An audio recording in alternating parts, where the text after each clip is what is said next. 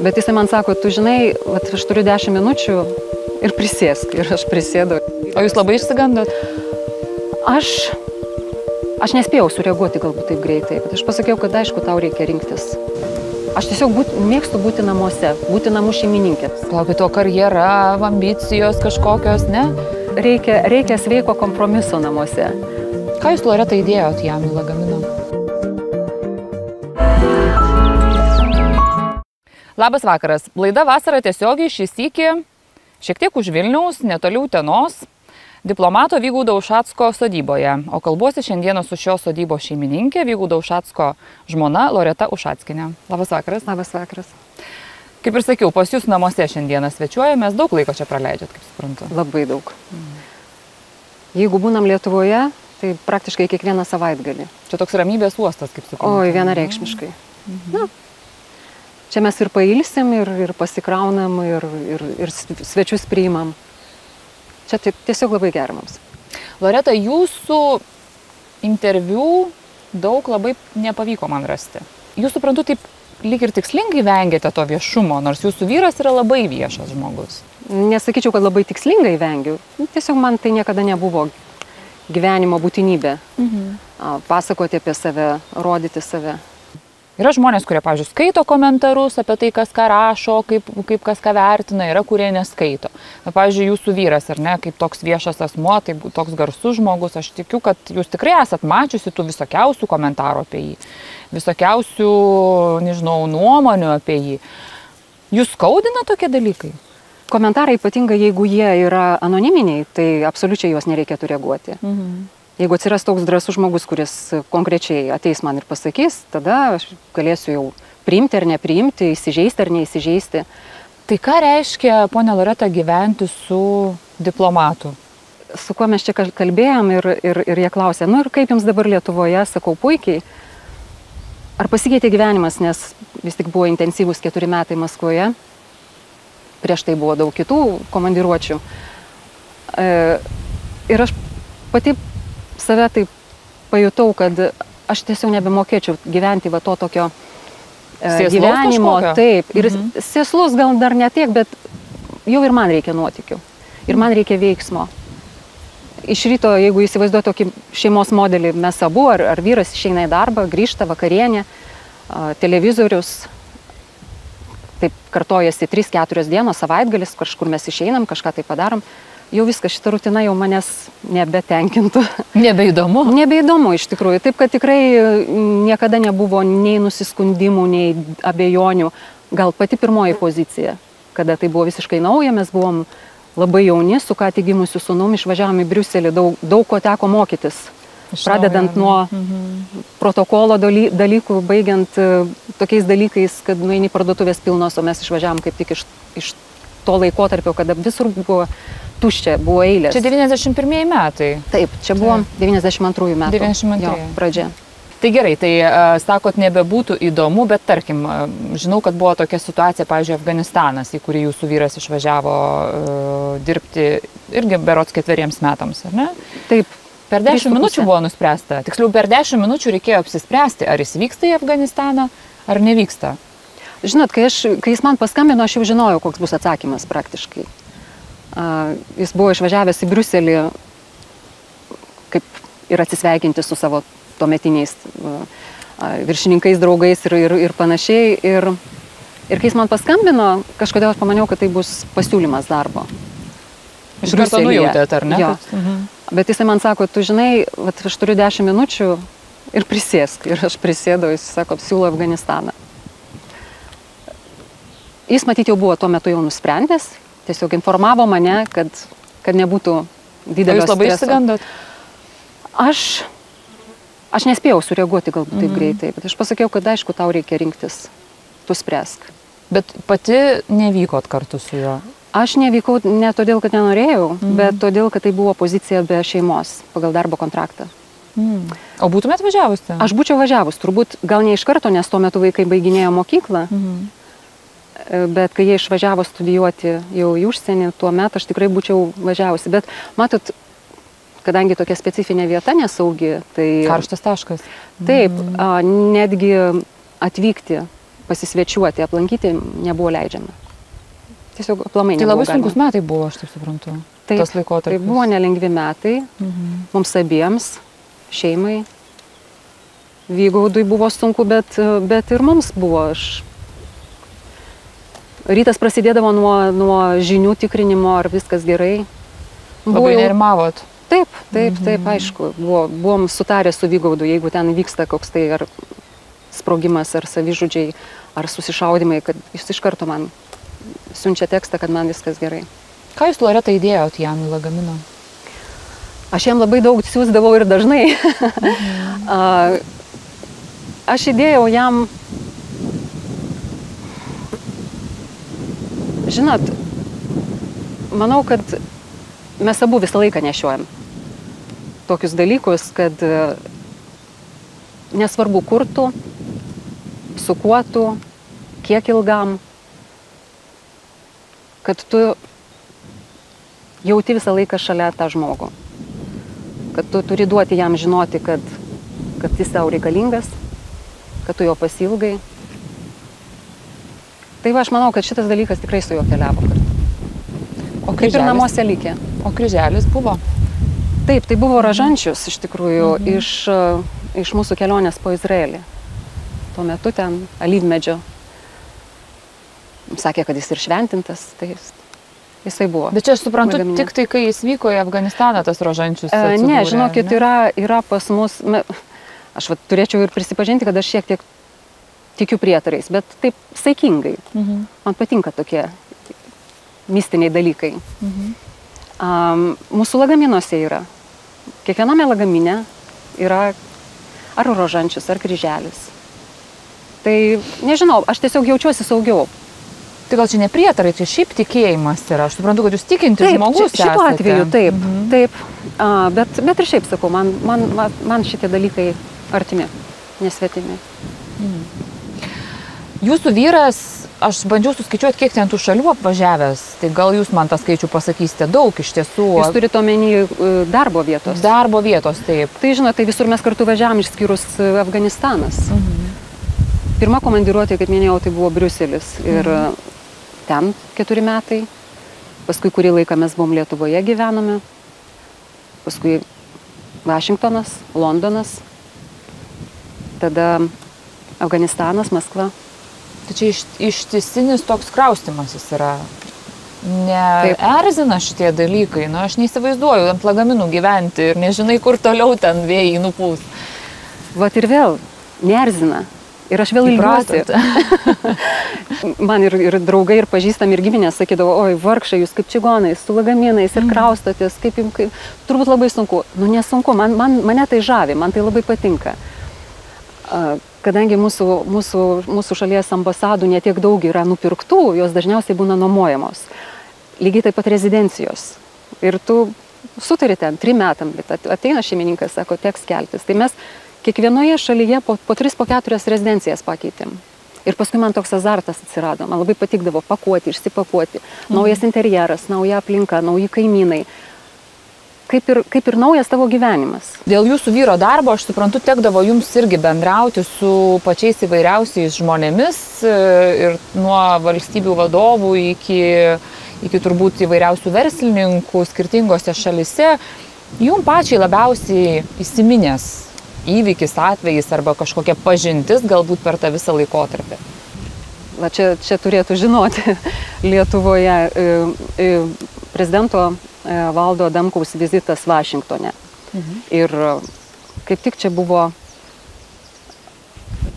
čia buvo antras vizitas. Pirmasis buvo ne visiškai nusisekęs dėl to, kad kitą dieną po e, prasidėjus vizitui įvyko e, rugsėjo 11 ir tiesiog vizitą teko atidėti ir, ir prezidentą saugiai išskraidinti atgal į Lietuvą, bet po metų ar, ar, ar, ar, ar, ar, ar panašiai buvo vėl iš naujo mm, prezidentas atvykęs su žmona ir apsilankimas e, Baltosiuose rūmose, nors mes ten ir dažniau užeidavom, jie ten ir šventės darydavo ir kalėdinės, ir velykinės, su vaikais kviesdavo. E, Bet bendravimas su tuometinė prezidento žmona Laura Bush, labai šiltų žmogumi, labai Mhm. paprastu ir a, tai ir tuo metu man atrodo, netgi ir, ir, ir žiniasklaida buvo prašysi. Tuo metu mums begeriant arbatą ir sėdint labai gražiai, bendraujant, iš atsidaro duris ir įeina prezidentas Bušas su tokiais nuskaltais marškinėliais, mhm. šortukais,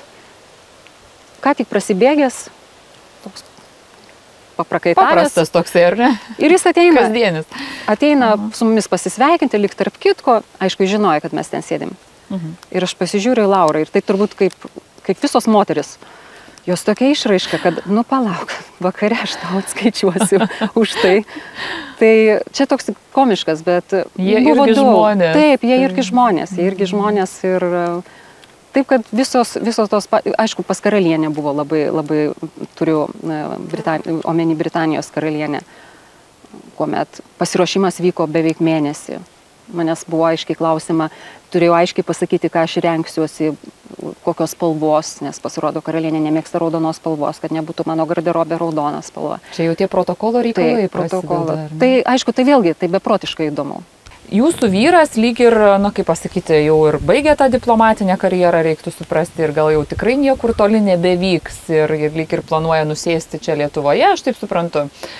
Bet e, atrodo, būtų galima ramiai gyventi, ar ne? Vat, graži sodyba, plaukioti valtimi, kažką veikti tiesiog, bet ponas Vygaudas suprantu, kad nuo tos politikos nueiti visiškai nenori ir, ir, ir bandys siekti aukščiausių valstybės postų. Jūs pritarėt tam? Šiandien dienai aš jau neturiu kito pasirinkimo, aš turiu pritarti. E, mhm. Bet jeigu rimtai, taip, aš jam pritariu. Taip, aš jam pritariu. Nes manau, kad jisai turi pakankamai sukaupęs patirties, kurią gali panaudoti. Mhm.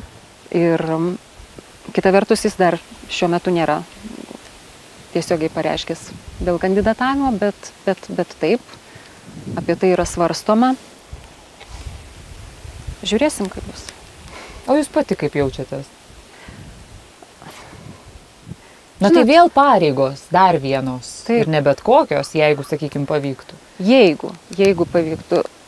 Nežinau, aš turbūt, aš be abejo prisitaikysiu ir, ir viską darysiu tai, kaip reikia. Mhm. Bet, bet teks turbūt pasiginčyti daug, dėl, vėlgi, kas liečia asmeninius ir privačius dalykus.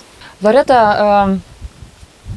jūsų vaikai yra irgi, na, kaip pasakyti, nežinau, gal čia koks netradicinis auklėjimas jų yra, bet, bet stebina to, kad jie labai patriotiški ir labai pilietiški, ypatingai jūsų sunus Raimundas, kuris, kuris savanoriškai nuėjo tarnauti į kariuomenę, suprantu, ir tėvus nustebinė šito savo sprendimu. Ar čia yra, na nežinau, įgimta, ar jūs kažkokias specifinius auklėjimo metodus savo vaikams taikėte, kaip čia yra? Kaip va tokius jaunus žmonės e, na, išmokyti to pilietiškumo, sakykime, patriotiškumo? Tikrai nieko specifinio. E, be abejo, pas mus visada namuose ta nuotaika tokia, nesakau, kad čia labai patriotinė ar panašiai, bet tiesiog matydavo vaikai. Mhm. Ir darbus, ir susitikimus. Kadangi, na, nu, Kasdienybė tokia buvo. Kasdienybė, tiesiog. Mhm. visos tos šventės, susitikimai, minėjimai. Jiem tai tai tapo natūralu. Bet, bet jie visada, matot, aš manau, kad jie, jie supranta ir vertina tą galimybę, kurią jie turėjo užsienyje keliaujant mums dirbant, jiems besimokant. Tai, tai buvo tikrai didelė patirtis. Bet jie labai natūraliai visada, nuo pat mažumės, jie norėdavo čia, Lietuvoje būti. Jų ir draugai čia, jie kažkaip Bet tai jiems tai toks vat, noras E, jauni žmonės e, baigia mokslus, pakelia sparnus, e, nenori matyti tos Lietuvos, kažkur išvažiuoja, dirba, gyvena, o jūsų, tarkim, Vatraimundas, aš suprantu, kad netgi ir pareiškęs norą buvo grįžti į Lietuvą ir tik į Lietuvą.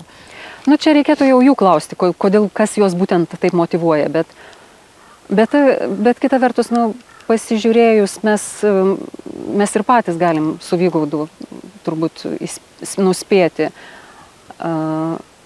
Gyvenimas užsienyje taip, viskas gerai, kol tu mokaisi, kol tu keliauji, bet aš manau, kad Lietuvoje labai gera. Mhm. Gyvenimo kokybė, palyginus išlaidomis, čia tikrai yra, yra geresnė. E, tokia psichologinė aplinka geresnė, nes tu esi namuose, tu esi savo. Šaknis čia. Taip. Mhm. Kaip sako, namai ten, kur širdis. Turbūt taip. taip. O tas sprendimas Raimundo eiti šiek tiek tos kario duonos valgyti labai nustebino. Iš tikrųjų nustebino. Tuo metu tai atsitiko Maskvoje, nes kai jis baigė mokslus uh, Exeterio universitete, buvo klausimas, ar iš karto studijuoti magistrą, ar išeiti truputėlį padirbti.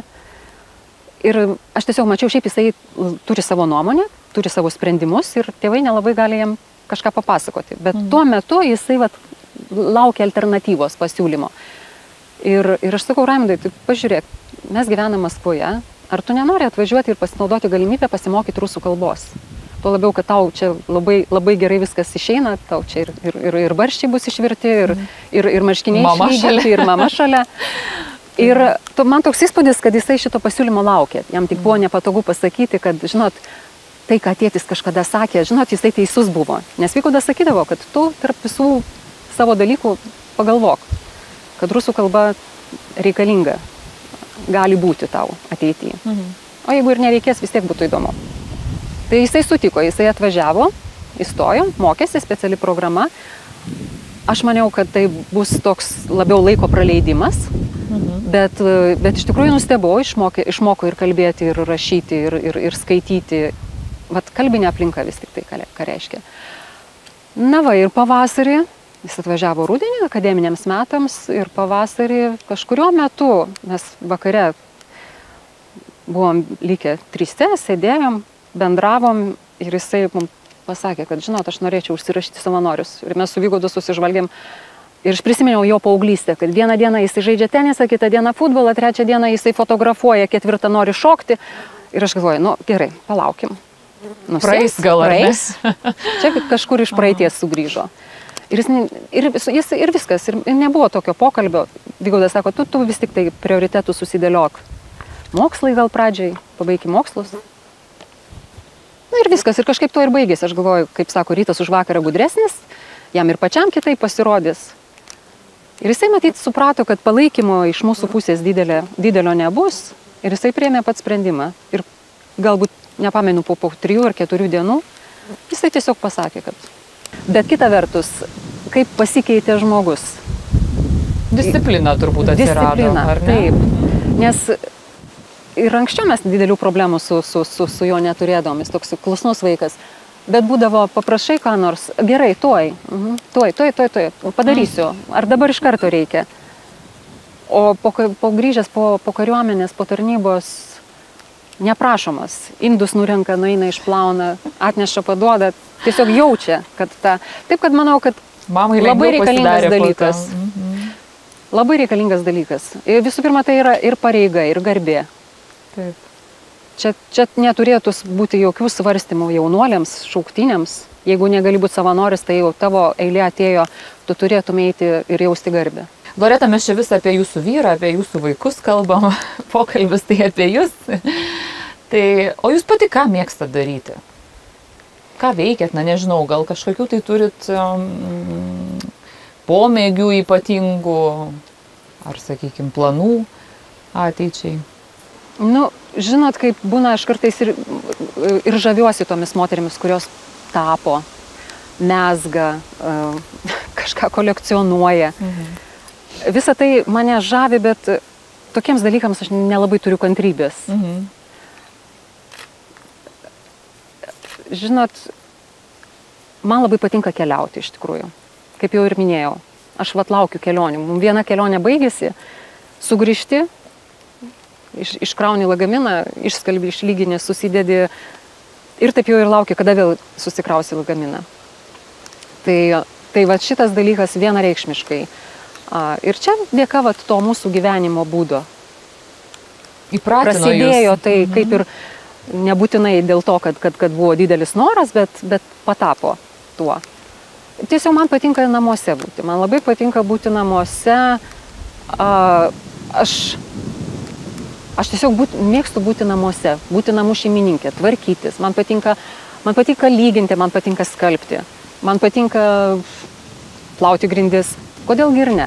Man šitie visi dalykai nesvetimi. Aš viską galiu padaryti pati, galiu gėlės sodinti, galiu šieną e, griebti. Čia, čia yra, aš to mėgaujuosi. Gal tai to karjera, ambicijos kažkokios, A. ne? Žinot, su ambicijom ir karjera mūsų šeimoje yra jau pakankamai ambicingų personų ir, ir, ir reikia, reikia sveiko kompromiso namuose.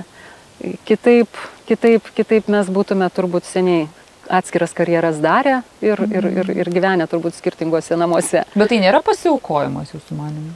Ne, man, aš taip, aš taip negalvoju. Aš esu dėkinga ir, ir, ir likimui, ir tam žmogui, su kuriuo gyvenu, kadangi dėka jo, vat tokios išprotėjusios galbūt karjeros ar gyvenimo būdo, kaip kažkam gali pasirodyti, aš, aš turiu tą, ko, ko galbūt kitiems norėtųsi irgi. Ir vėlgi, kaip sakau, vat, to sėslumo ir, ir, ir tų, tų naminių dalykų aš atsigrėbiau vat, tai, kad aš tą pati darau namuose. Mhm. Kiek Aš- metų jūs kartu su ponu Vygaudu jau esate? Vat šį, šią vasarą už, už, už poros mėnesių 27 metai. Iš tikrųjų būtų 28, jeigu dar skaičiuoti mūsų pažinti.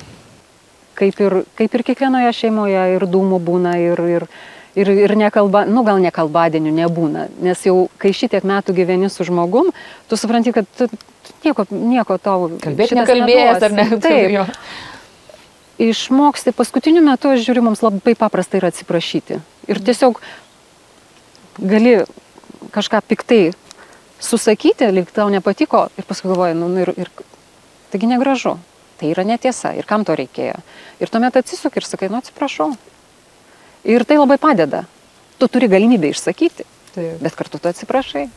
Ir tu reikalingas, reikalingas kompromisas, tai čia, čia ir čia nere, net ne receptas, čia, čia reikalingas dialogas, reikalinga išklausyti, reikalinga nutilėti, reikalinga pa, paklausti, kuo gali padėti ir panašiai. Taip kad Tai ačiū Jums, Loreta, už pokalbį. Linkiu sėkmės ir Jums, ir Jūsų vyrui. ačiū. Ačiū. Ir ačiū, kad mus priemėt šito jūsų, jūsų šitam ramybės uostė, toje gražioje kad, kad jums čia aplinkoje. patinka, džiaugiamės, kad atvažiavot. Dėkui. Ačiū. Ačiū žiūrėjusiems, iki pasimatymo.